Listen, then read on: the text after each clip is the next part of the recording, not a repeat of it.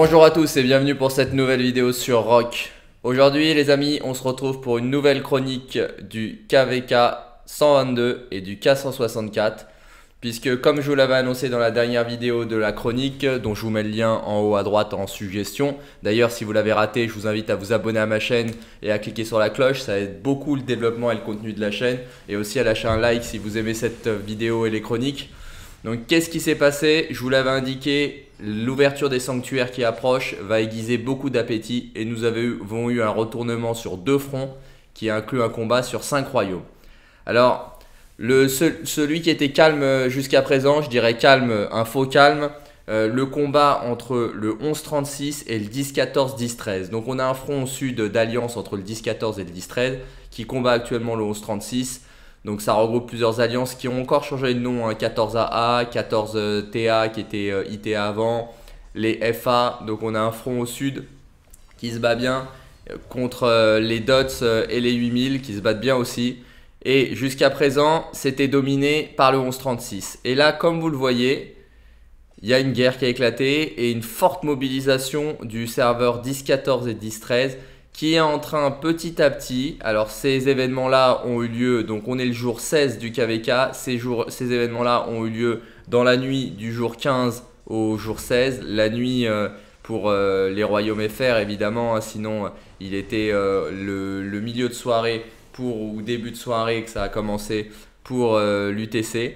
Donc on voit, vous voyez, sur cette zone-là, ils essayent de percer et de monter pour petit à petit reprendre la porte aux Dots et aussi se placer pour le sanctuaire. Évidemment, le sanctuaire, c'est un bâtiment très intéressant et un, enjeu majeur.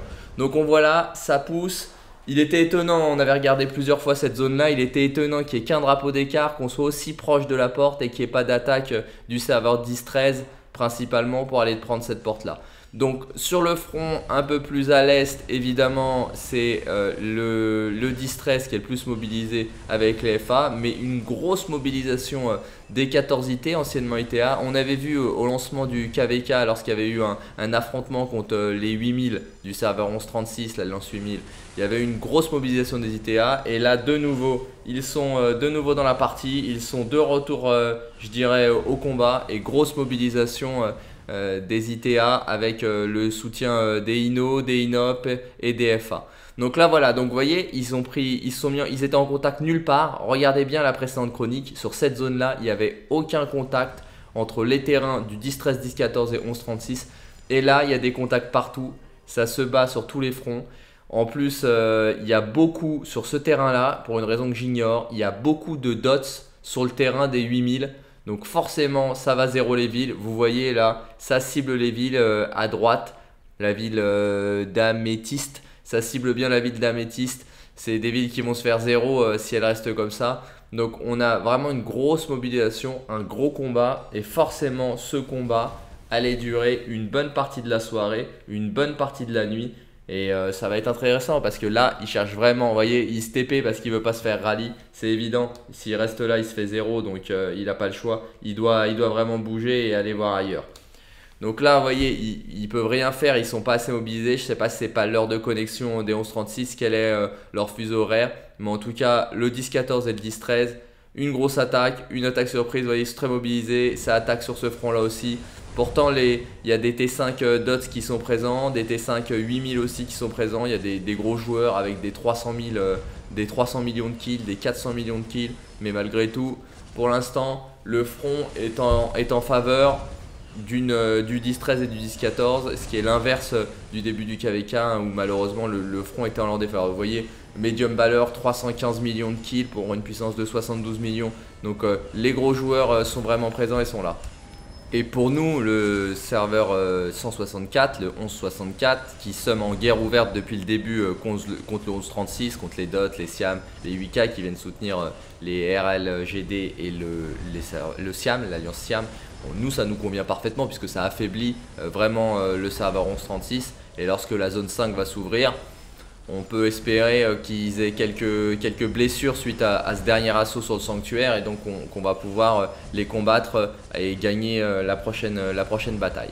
Donc vous voyez, il y a un gros front qui s'est mobilisé là, des, gros joueurs qui sont, venus. C'est vraiment intéressant à voir cette stratégie, mais elle était prévisible. Hein. donc les dots et les 8000 auraient pu s'y préparer. C'était évident en laissant l'ennemi aussi près, ils les avaient pas repoussés, ils avaient peut-être pas eu la capacité de le faire, mais en laissant l'ennemi aussi près du sanctuaire qu'il allait essayer de le prendre. Et vous voyez les Inop, ils ont même installé euh, une, une nouvelle forteresse. Cette zone-là, en revanche, la première zone de combat euh, proche du camp des croisés, et elle est abandonnée. Ils ont raison, ils n'ont pas d'intérêt, euh, le serveur 10-14 et, le distress s'ils veulent les soutenir, à aller dans cette zone-là. Le but pour eux maintenant est vraiment de couper au niveau du sanctuaire pour récupérer porte et sanctuaire et cloisonner euh, la future zone 6 avec la prise de la porte zone 5. Donc il faut vraiment qu'ils créent, je dirais, une étanchéité pour être tranquille dans cette zone des gros combats euh, qu'on vient durer. Après, on va revenir euh, au jour 16, donc une fois que la nuit est passée quelle va être la physionomie, qu'est-ce qui va se passer euh, durant toute la nuit, est-ce qu'on va avoir une mobilisation euh, du serveur 1136, des dots et, des 8000 pour essayer de repousser l'adversaire et ça se trouve les repousser? Certains matins euh, au réveil, grand nombre de gouverneurs ont souvent des surprises de voir des retournements de, la guerre, de ce qui s'était passé la veille, pourtant lorsqu'ils étaient en bonne position. On l'a vu sur tous les fronts, on l'a déjà vu dans les précédentes chroniques. Donc il faut vraiment se méfier de ce qui se passe à un instant T. Les mobilisations sont différentes et les créneaux aussi sont, sont différents. Donc là, le front le plus fort et le front le plus à l'est, celui qui est le plus proche du 10-13. Très probablement parce que sur ce front-là, on a l'alliance euh, des deux serveurs, alors que le 10-13 n'est pas encore rentré euh, plus dans les terres. Il a laissé euh, les 14AA et les Inop s'en occuper, alors que sur le front qui est le plus proche du sanctuaire, sur lequel il y a une nouvelle forteresse DOTS en construction, on a vraiment une grosse mobilisation du serveur 10-13 et une grosse présence des FA et aussi une présence des, des INO, hein, bien évidemment, et du, du 10-14. Mais en tout cas, c'est vraiment là que le combat se passe au plus près, sur le chemin le plus direct, je dirais, du sanctuaire, avec encore une fois une forteresse d'Ots qui est en construction pour protéger, car le terrain est au 8000 là, hein, pour protéger euh, l'accès euh, au sanctuaire. Sur le front euh, qui lie le 10-13 au 11-30, il ne se passe rien, ils ne s'investissent pas sur ce côté-là, le, le 10-13 pour essayer de le reprendre, il n'y a pas d'intérêt. En revanche, deuxième front, 11,87, 12,04. Le 12,04 avait repris l'avantage avec une alliance avec le 10,05 pour descendre et prendre le sanctuaire. Il l'avait pris et regardez, tout a changé en quelques jours. Ils se sont fait repousser totalement. Le serveur 1187 a repris son terrain. Il s'est repositionné. Il a un peu moins de terrain qu'avant le rush euh, du 10.05 et du 12.04. Mais en tout cas, à quelques jours de l'ouverture des sanctuaires. Les sanctuaires devraient être disponibles normalement d'ici 3 jours à peu près. On voit là, c'est de nouveau le 1187 qui est positionné, de nouveau le 1187 euh, qui va tenir euh, le, sanctuaire. On va voir comment ça va se passer parce que les FU ont toujours une forteresse pour le moment euh, dans la nuit du jour 15 au jour 16. Ils avaient toujours quelques drapeaux qui pouvaient poser juste un drapeau et être en contact du sanctuaire. Ils étaient proches.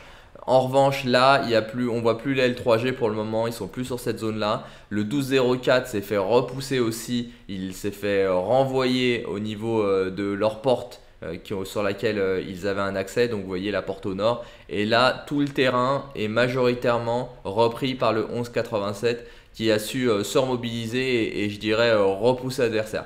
Peut-être c'est une stratégie et peut-être euh, que d'ici euh, les 48 heures qui, vont arriver et qui vont nous rapprocher très grandement de l'ouverture du sanctuaire, on va avoir une mobilisation euh, différente, une forte mobilisation, je dirais, de nouveau du 10.05 et du 12.04 qui va leur permettre de reprendre. Vous voyez, on se rapproche vraiment là. On a dans, entre la nuit du jour 15 et jour 16, on était à 21h. On avait encore deux events, un event plein, puis c'était le sanctuaire couvrait.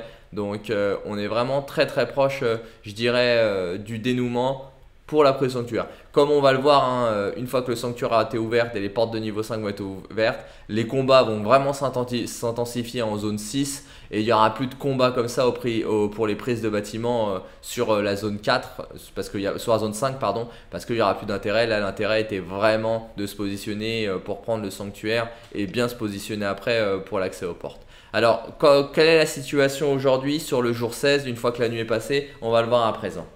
Alors, maintenant que la nuit est passée, vous voyez, on descend sur le front entre le 10-14, 10-13 et le 11-36 et on voit que au niveau de la forteresse Sinop, ça a bien percé, vous voyez là, ils sont bien montés, ils se rapprochent pour essayer de couper cette branche là et comme ça, ils auront l'accès à, à toutes les portes sauf une. Ils auront une porte, deux portes et celle-là qu'ils ont déjà. Donc voilà, ils essayent de couper là. Même euh, les, les, 14 euh, RV, AA et euh, TA repoussent là face. Ils ont une alliance qui est sûrement une alliance de farm, hein, qui est les Buns, qui est une alliance qui a été posée très probablement pour les empêcher d'avancer. Vous voyez, une toute petite alliance de farming, c'est écrit. Donc ils vont les repousser. C'est ça qu'ils vont essayer de faire pour couper vraiment l'accès ici. Très probablement. Hein. Euh, de l'autre côté, les 14 IT et les INO avec le soutien des FA, donc du 10-13, a réussi à bien avancer et à repousser davantage encore les drapeaux pour se rapprocher du sanctuaire. Vous voyez là maintenant, il y a deux serveurs qui sont en contact avec le sanctuaire, le 10-14 et le 11-36, l'un au sud, l'autre au nord. Donc qui va le prendre, on ne sait pas encore. Au niveau de cette forteresse, elle a pu se construire, elle tient, elle est complète. On a les dots qui sont là, qui sont présents, doivent être sur leur horaire là. Vous voyez, donc la mobilisation s'est inversée, même si elle reste petite. Euh, côté dots, côté euh, serveur 1136, c'est quand même eux qui sont les plus présents là, à cette heure-là. Euh, une heure qui est favorable, bien évidemment, à ceux qui sont sur un créneau horaire décalé de celui français. Le drapeau était presque tombé, le drapeau des FA, pour les faire reculer. Mais, mais pour le moment, il tient. Donc, on va voir dans les prochaines heures comment ça va évoluer. Sur cette zone-là, il n'y a pas de contact pour le moment. Donc on a vraiment... Ah si, il y a un contact, pardon, ça ne s'affichait pas. Il y a un contact des dots. Donc ils veulent vraiment aussi attaquer ce drapeau-là qui d'ailleurs est en feu. Donc ils veulent les repousser pour essayer de contenir, conserver cette porte-là et bien évidemment conserver euh, un accès unique au sanctuaire. Là, au sud, il n'y a pas de point de contact excepté avec le sanctuaire. Donc le serveur 10-14 est tranquille de ce côté-là et ils vont très probablement essayer de continuer de repousser cette branche là en la collant ou en la coupant puisque vraiment leur, euh, leur but est très probablement au minimum d'isoler cette porte de la voie pour prendre le sanctuaire et couper ici et laisser les deux portes au nord, laisser s'ils n'ont pas le choix évidemment au serveur 1136. Euh, donc voilà, donc ça épuise quand même les troupes, hein. ça on va avoir des grosses guerres après euh, en zone 6 après l'ouverture des portes de zone 5. Donc euh, il faut vraiment qu'ils arrivent à finir cette guerre rapidement et à cloisonner leur adversaire. On va aller voir l'autre front entre le 11,87, le 12,04 et le 10,05. Voir comment ça a évolué pendant la nuit. Donc on s'y positionne, c'est ici, voilà. On voit que ça n'a pas vraiment bougé euh, de la situation d'hier, c'est resté stable. Sauf que là, on a avancé euh, d'un drapeau. Donc c'est tout, on n'a pas de, guerre sur le terrain là, même si on a un VIHE qui se promène là pour montrer qu'ils n'ont pas peur et qu'ils sont là. Donc le 1187 a conservé sa position sur le sanctuaire au final, on le voit parfaitement, ils l'ont bien entouré. Donc ils n'ont qu'un drapeau à poser, qu'ils n'ont même pas l'obligation de faire, pour le protéger totalement et vraiment enfermer, car il est probable hein, que les FU qui ont gardé une forteresse là, face euh, à un push pour essayer de le prendre au moment où on va être le plus proche. Donc euh, d'ici demain très probablement ou dans la nuit euh, de demain après-demain, on va forcément avoir un push du serveur 10.05 avec sûrement le 12.04 pour essayer de reprendre ce sanctuaire. Là, on est de plus en plus poussif. Le 11.87 repousse de plus en plus le 12.04. Ils aimeraient, j'imagine, les cloisonner, totalement les enfermer comme ils l'ont fait, vous voyez, ils vont aller les coller pour les pousser à la porte. Ils vont essayer de sceller cette porte comme ils l'ont fait à ce niveau-là. Vous voyez, ici ça ne bouge pas, ils ont bien fermé la porte. Donc c'est ce qu'ils vont essayer de faire pour être en combat que contre le 10-05 et avoir que des troupes qui arrivent et qu'il n'y ait plus de, villes qui sortent comme ça du 12-04. Ce qui va être très compliqué pour eux hein, parce que là ils arrivent sur un front euh, au nord qui est dense et il y a vraiment une alliance entre le 10-05 et le 12-04. Donc là ils vont avoir du mal à, pénétrer euh, davantage. Sauf s'ils arrivent vraiment à avoir une mobilisation exceptionnelle. Donc voilà pour, euh, pour cette chronique. Si vous l'avez aimé, je vous invite à, lâcher un pouce bleu pour cette vidéo et si ce n'est déjà fait, vous abonner à ma chaîne et cliquez sur la cloche. Comme je vous l'ai dit, ça aide beaucoup le contenu. On aura une prochaine chronique à présent très probablement à l'ouverture du, du, des portes pardon, euh, de, niveau 5 ou du sanctuaire. Là, il est probable que ce soit le sanctuaire euh, qui ait lieu euh, dans les 48 à 72 heures avec une ouverture des portes de niveau 5 qui devra avoir lieu à la suite, hein, qui devrait se passer normalement courant de ce week-end. Donc on va voir pour l'horaire, ça va dépendre un peu de nous. Si on a déjà posé euh, les 300 drapeaux, quand je dis nous, c'est notre KVK en entier. Si on a déjà posé les 300 drapeaux, donc euh, ça ira beaucoup plus vite. Ça fera immédiatement passer euh, un des events qui va arriver. Je vous laisse là-dessus. On aura la surprise de voir comment ça évolue à la prochaine chronique. Je vous souhaite un bon jeu à tous et je vous dis à plus sur Rock.